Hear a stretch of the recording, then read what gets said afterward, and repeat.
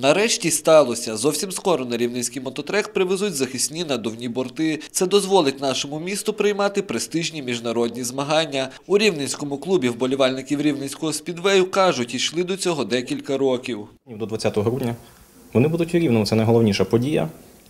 Це те, за що ми боролися вже фактично більше року. І придбання надувних бортів дозволяє нам проводити офіційний чемпіонат Європи та світу. І е, 19 травня наступного сезону, це попередня дата, ми отримали право проведення півфіналу чемпіонату Європи серед юніорів е, до 21 року. На придбання надувних бортів із місцевого бюджету виділи півтора мільйони гривень. Також з допомогою місцевої влади відкрили Рівненський спортивно-технічний клуб, де займається чимало спортсменів, зокрема і дітей. Очільник міста Володимир Хумко запевнив, що у Рівному розвиватимуть спідвей і надалі. Якщо так далі піде і нам не не- запсують бюджетом, і маємо, будемо мати такі можливості, я запевняю, через 2-3 роки ми повернемо свідей до того стану, який він був в найкращі свої роки. Дуже приємно, що підтримали також і ветерани. Є молоді люди, які хочуть цим займатися, є база, є мотоцикли, є бажання. Тому дякую. Не сумніваюсь в перспективі нашої спільної справи. Також сьогодні і відзначили найкращих спортсменів минулого сезону. Фахівці визнали Станіслава Мельничука кращим спідвеїстом року, адже він показав приголомшливі результати впродовж сезону.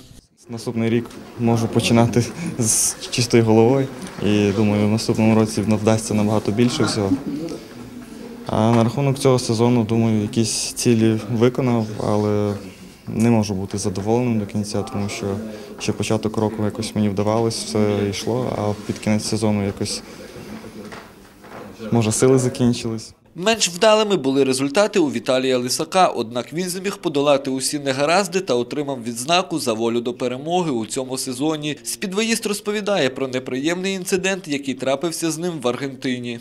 Аргентинська митниця забрала ну, всі мотоцикли всіх спортсменів, і вийшло так, що е, не, не вистачало коштів купити мотоцикл за свої кошти, такі хороші, щоб можна було показувати високі результати. І мусив їздити на тому, що є. І на кінець, на кінець сезону нарешті е, в- ну, зробив кращу техніку і почав показувати результати.